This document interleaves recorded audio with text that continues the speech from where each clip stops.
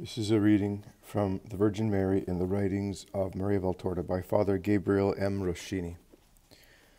Five Marian Portraits. Before presenting a synthesis of Valtorta's Mariology, it seems appropriate to sketch an overview of Mary's remarkable personality as it emerges from Maria Valtorta's Il Poema dell'Uomo Dio. Let us contemplate five Marian portraits and admire the many sunbeams which emanate from this transcendent being. Reading through Il Poema dell'Uomo Dio, we discover five truly evocative scenes which depict Mary's normal traits, Mary's moral traits, and give her true theological, ascetic portrait. The first four portraits were drawn by her divine son, the supreme artist. The fifth one by a young Jewish prophetess named Sabea of Carmel. 1. The first portrait. This is my mother. In the third year of his public ministry, in his small, humble home in Nazareth, Jesus speaks about his mother to the apostles, the shepherds, and the women disciples, and other people, approximately 40 people in all. He draws her moral portrait. I wanted you to be here so I could tell you about Mary. Many of you know Mary as the mother, some as the spouse, but no one knows her as the Virgin Mary. I want you to become acquainted with her in this garden in bloom behind her house in Nazareth, to which your hearts desire to come when you are compelled to be far away, as to a resting place after your apostolate work.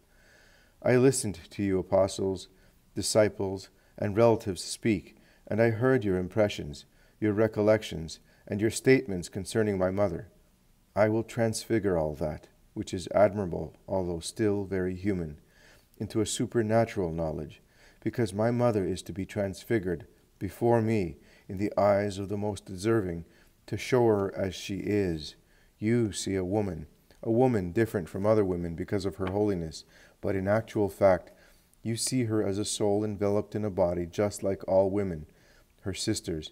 But I, but I now wish, but now I wish to reveal to you the soul of my mother, her true and eternal beauty. Poema 5. 268 to 269. After saying that, Jesus turns towards his mother.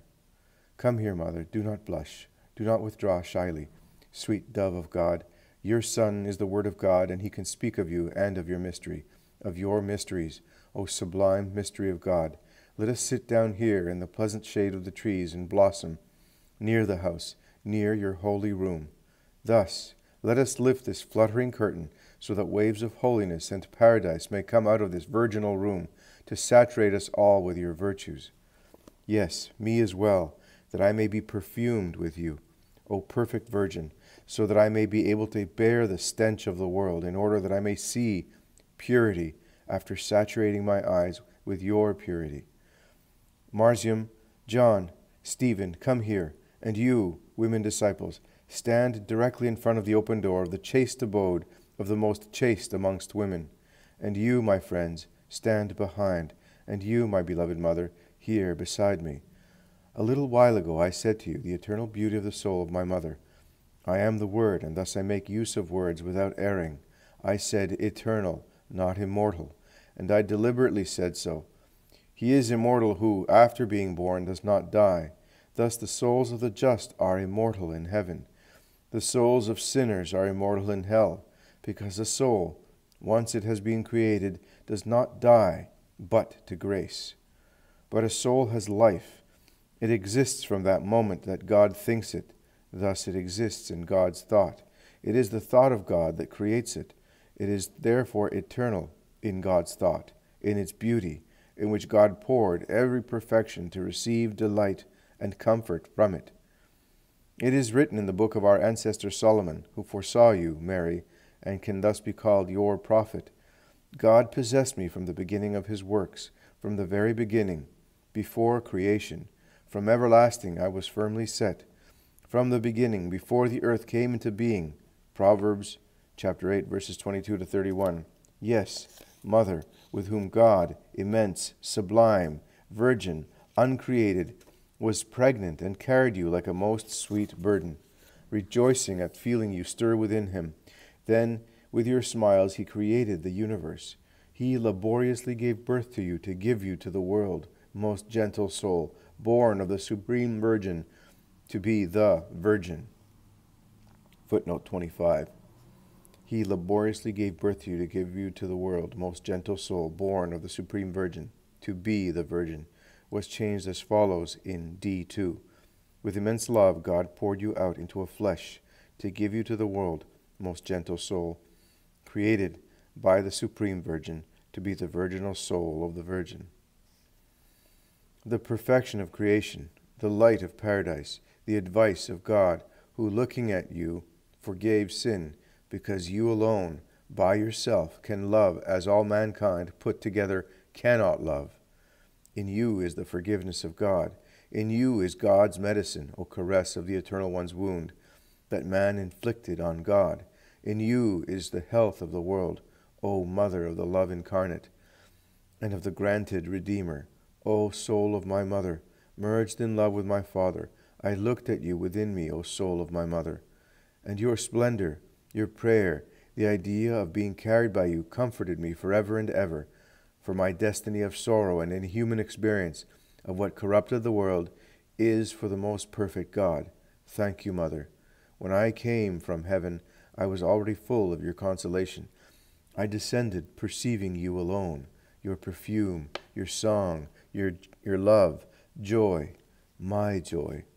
Now that you know that only one is the woman in whom there is no stain, that one only human being costs the Redeemer no injury, listen to the second transfiguration of Mary, the elect daughter of God. It was a clear afternoon in the month of Adar, and the trees were in bloom in the silent kitchen garden, and Mary, Joseph's bride, had picked a flowery branch to replace the one that was in her room. Mary, taken from the temple to adorn a house of saints, had recently come to Nazareth, and with her soul divided among temple, house, and heaven, she was looking at the flowery branch, considering that by means of a similar branch, branch which had bloomed in an unusual manner, God had revealed his will to her. It was a branch cut off in this garden in the depth of winter, and it had bloomed as if it were springtime before the ark of the Lord. Perhaps God, beaming in his glory, had warmed it as the sun. And she was thinking also that on the day of their wedding, Joseph had brought her other flowers but never like the first one on the thin petals of which it was written, I want you united to Joseph. She was thinking of many things, and while thinking, she ascended to God. Her hands were busy with distaff and spindle, and were spinning a yarn that was thinner than the hair of a young head. Her soul was weaving a carpet of love, moving quickly like a shuttle on a loom, from the earth to heaven, from the needs of the house of Joseph to those of the soul of God. And she sang and prayed, and the carpet was forming on the mystical loom. It rolled off from the earth to heaven. It ascended to get lost up there. Formed with what? With the thin, perfectly strong thread of her virtues, with the flying thread of the shuttle, which she thought was hers, whereas it was God's, the shuttle of the will of God, on which was rolled the will of the little, great Virgin of Israel, unknown to the world, known to God rolled and made one with the will of the Lord. And the carpet was adorned with the flowers of love, of purity, with palms of peace and palms of glory, with sweet smelling violets, with jasmines. Every virtue flowed on the carpet of love, which the Virgin of God unrolled invitingly from the earth to heaven. And as the carpet was not sufficient, she thrust her heart, singing, Let my beloved come into this garden and eat the fruit of his trees. Let my beloved come down to his garden, to the bed of spices, to pasture in the gardens and gather lilies. I am my beloved's, and my beloved is mine. He pastures among the lilies. Canticle chapter 5, verse 1, chapter 6, verse 1, 2, and 2 to 3. And from infinite distance, among torrents of light, a voice came that human ear cannot hear, and human throat cannot utter. And it said, how beautiful you are, my love, how beautiful you are. Your lips distill wild honey. You are a garden enclosed, a sealed fountain. My sister, my promised bride. Canticle chapter 4, verse 1 and 11 to 12. And the two voices joined together to sing the eternal truth. Love is stronger than death. Nothing can quench or drown our love. Canticle chapter 8, verses 6 to 7. And the Virgin was thus transfigured when Gabriel descended and called her back to the earth with his ardor, and joined her spirit to her body again, so that she might hear and understand the request of him who had called her sister, but wanted her to be his bride. So the mystery took place there, and a modest woman, the most modest of all women, who was not even aware of the inst- instinct of the instinctive incentive of the flesh, was dazed before the angel of God, because even an angel accepts the humility and modesty of the virgin, and only when she heard him speak she calmed down, and she believed, and she said the word thereby whereby their love became flesh, and will defeat death, and no flood will be able to quench it, or wickedness to submerge it.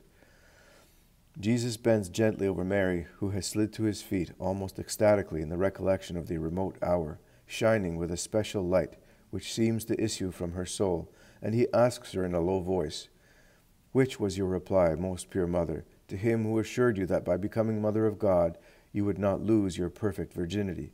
And Mary, almost in a dream, slowly, smiling, her eyes shining with joyful tears, I am the handmaid of the Lord let it be done to me according to your word.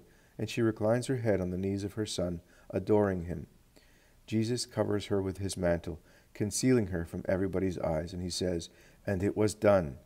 All will be done until the end, until her next transfiguration, and the one after that. She will always be the handmaid of God.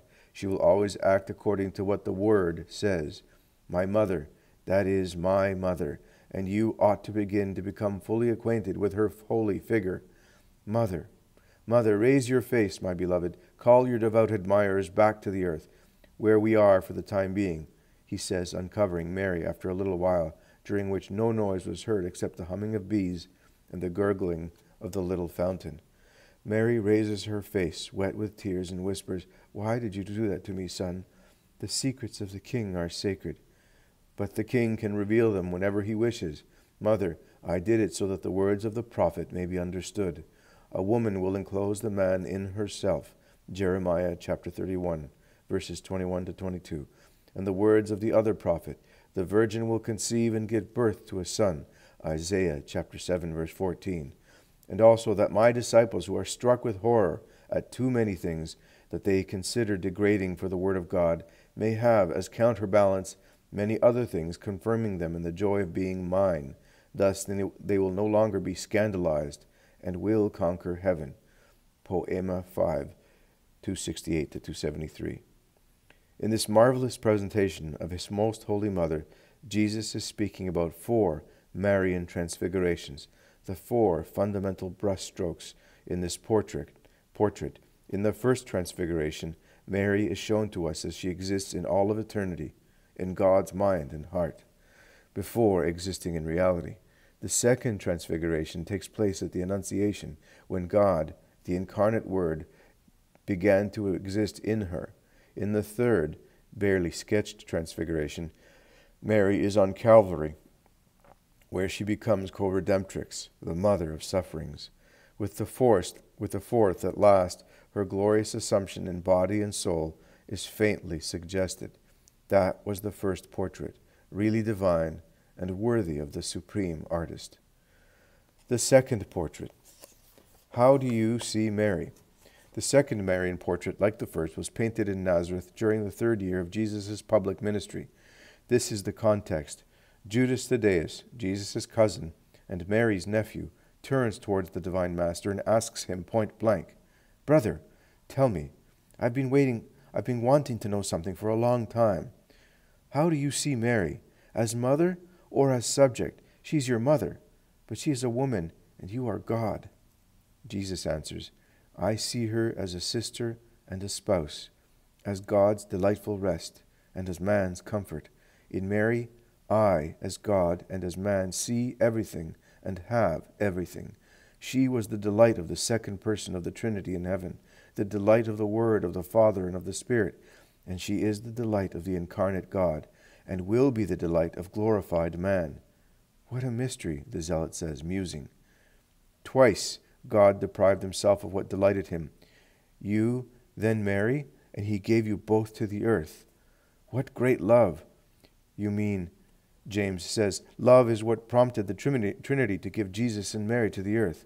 Thomas asks, But weren't you afraid, not for your sake, since you are God, but for your Rose's sake, to entrust her to men that are all unworthy of, un- of protecting her? Thomas, Jesus replies, The Canticle of Canticles, chapter 8, verse 11 to 12, will answer you. The peaceful one had a vineyard and entrusted it to overseers, but they were desecrators, prompted as they were by the desecrator. They would have paid large amounts of money to own it. In other words, they would have tried to, to seduce it by all means. But the Lord's beautiful vineyard looked after herself, by herself. She wanted to yield her fruits to no one but the Lord. She wanted to open to no one but Him, thus begetting the priceless treasure, the Savior. Poema 6, page 946. This second portrait also is simple and delightful. The Blessed Virgin is the delight of the Most Holy Trinity, the joy and consolation of the incarnate Word, the God man, the well guarded vineyard which yielded all its fruit to the Lord alone, and who gave birth to the priceless treasure, the Savior, and the delight of the glorified God man. 3. The third portrait, the Golden Ark. Jesus sketched another portrait of his mother not very long after the first, in a discourse he made in the synagogue in Capernaum about the living bread which came down from heaven. John chapter 6 verse 41. His audience was scandalized at his words and began to murmur. Jesus replied, Why are you grumbling among yourselves? Yes, I am the son of Mary of Nazareth, the daughter of Joachim of the house of David, a virgin consecrated in the temple, and then married to Joseph of Jacob, of the house of David. Many of you have known the just parents of Joseph, a royal carpenter, and those of Mary, the virgin, heiress of the royal stock. And you thus say, How can he say that he descended from heaven? And you become doubtful. I remind you of the prophets who prophesied the incarnation of the Word, and I remind you that it is a dogma, more for us Israelites than for any other people, that he, whose name we dare not mention, God, could not become flesh according to the laws of mankind and then impoverish mankind at that. The most pure, uncreated one, if he humiliated himself by becoming man for the sake of man, could but choose the womb of a virgin, purer than lilies, to clothe his divinity with flesh. The bread that descended from heaven in the days of Moses was placed in the gold ark, which supported the mercy seat, and was watched over by the cherubim, behind the veils of the tabernacle. And the word of God, the tables of the law, was with the bread, the manna, and it was right that it should be so, because the deepest respect is to be paid to the gifts of God and to the tables of His most holy word. So, what will God have prepared for His own word and for the true bread that has come down from heaven? A more immaculate and precious ark than the gold one to support the precious mercy seat of His pure will to immolate Himself, watched over by the cherubim of God, veiled by virginal purity, by perfect humility sublime charity, and all the most holy virtues. So, do you not understand yet that my paternity is in heaven, and that consequently I come from there? Poema 5, pages 325 to 326. Here we have a synthesis of the three fundamentals of Mariology Mary's unique mission to be the mother of the Word, the Word made flesh, the living bread, come down from heaven for the salvation of humanity. Two, Mary's remarkable privileges. She is the virginal ark, more precious than the one which contained the manna and the tables of the law. 3. The exceptional veneration due to this ark. The three portraits so far, painted with so much filial love by, by Christ's hand, complement one another and blend into one full of heavenly light. The fourth portrait, the solitary flower of Nazareth. We can find another portrait of the Blessed Virgin by Jesus when he addressed himself to Simon the Zealot in the first year of his public ministry. There is a flower in Nazareth. There is a flower that lives solitary, fragrant with purity and love for her God and her Son. That is my mother.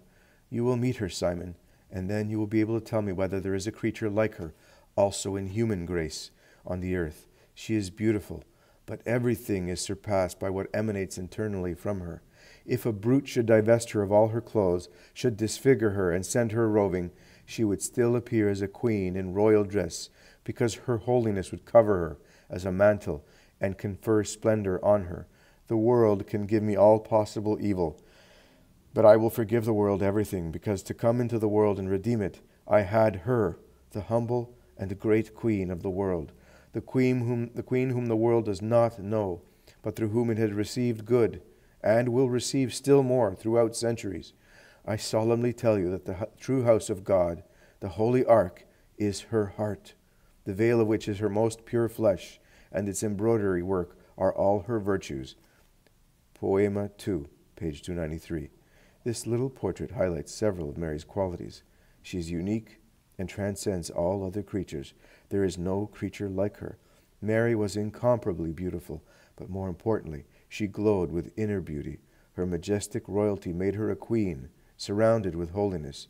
Her supremely beneficial work was to give the supreme good, the Savior, to the world. Mary's final trait, found in this portrait, was her generous, saving influence throughout the, through the centuries. She is the house of God, the holy ark, decorated with every virtue.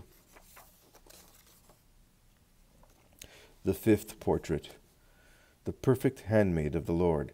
This portrait is drawn by a 30 year old Jewish prophetess of the tribe of Aaron, Sabea of Carmel of Beth-lechi. This takes place during the third year of Christ's public ministry at Zacchaeus' farm near Jericho. A young woman, inspired by God, has just made, with a shrill voice and luminous eyes, the highest praise of Christ, the Redeemer, the Messiah. She is now making a transition to talk about his mother. She says, Behold your King, O people of God. Get to know his face. God's beauty is standing before you. God's wisdom is in front of you. God's wisdom has taken a mouth to teach you. O people of Israel, it is no longer prophets who tell you about the unnamable one. He himself, who knows his own mystery, is telling you about God. He knows God's thoughts. He is taking you to his breast, a people who are still children after so many centuries, to feed you with the milk of God's wisdom, to turn you into an adult in God.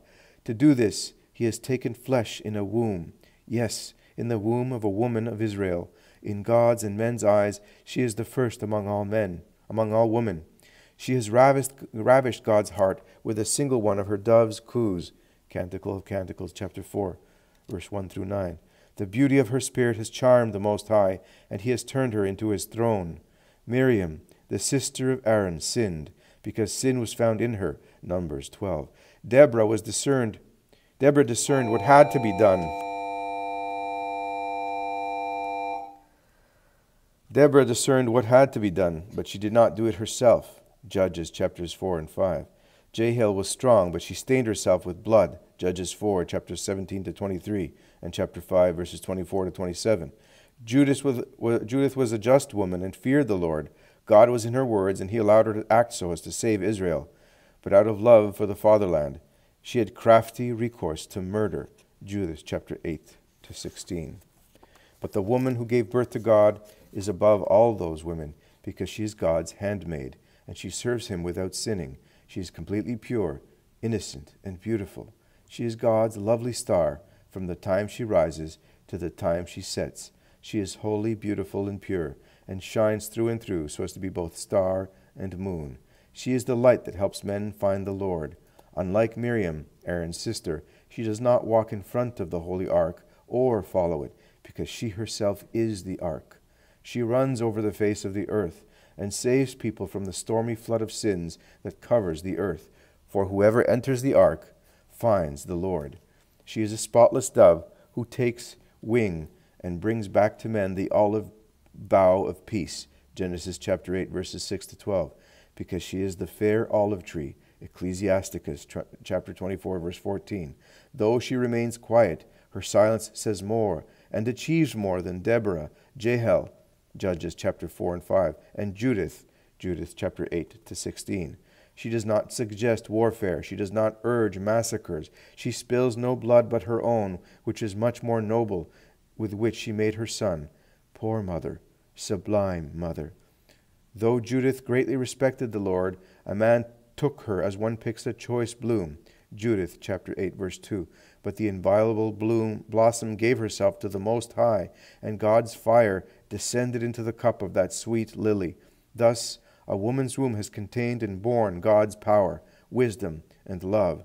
Glory to this woman. Sing, O you women of Israel, sing her praises. The young woman stops as if her voice was worn out. Actually, I wonder how she could speak so loud for so long.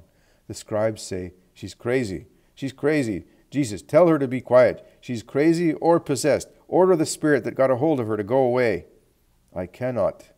That is none other than God's spirit, and God does not drive himself away.